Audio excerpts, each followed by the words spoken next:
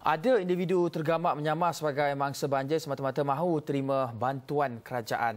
Bagaimanapun, awas kerana mereka yang berbuat demikian boleh berdepan hukuman penjara 20 tahun. Amaran dikeluarkan Ketua Pesuruhjaya Suruhanjaya Pencegahan Rasuah SPRM Tan Sri Abu Kasim Muhammad gara-gara ada individu bukan mangsa banjir mendaftar untuk mengambil kesempatan. Tindakan itu bukan sahaja tidak bermoral, malah disifatkan mengambil hak orang lain. Dan uh, tuntutan palsu adalah satu kesalahan di bawah Seksyen 18 Akta Pencegahan Rasuah 2009 dan hukumnya hukumannya adalah serius.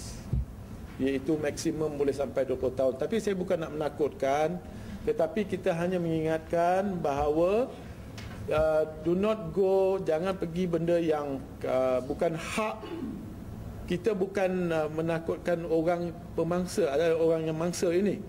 Yang kita membagi warning ini kepada pemangsa.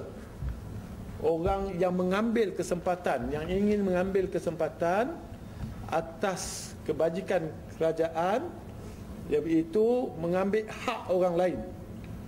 Dan bukan hak dia.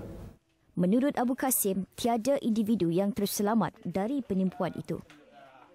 Ini kerana ada pelbagai proses tapisan dibuat untuk memastikan segala maklumat yang diberikan mangsa banjir adalah telus. Beliau memberi peringatan SPRM sentiasa memantau penyaluran bantuan supaya tiada pihak mengambil kesempatan.